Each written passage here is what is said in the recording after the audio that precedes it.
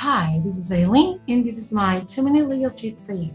Today, we will talk about the inheritance rights of adopted, half blood, and step children.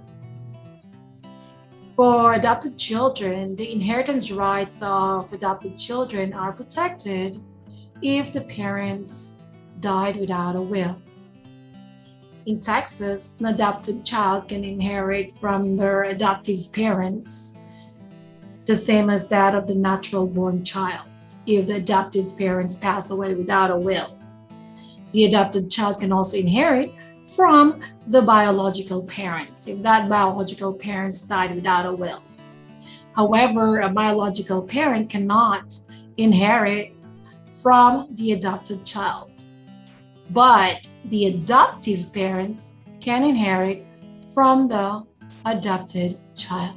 In case of stepchildren or stepchild, if the step parent pass away without a will, the stepchild will not inherit from the step parent.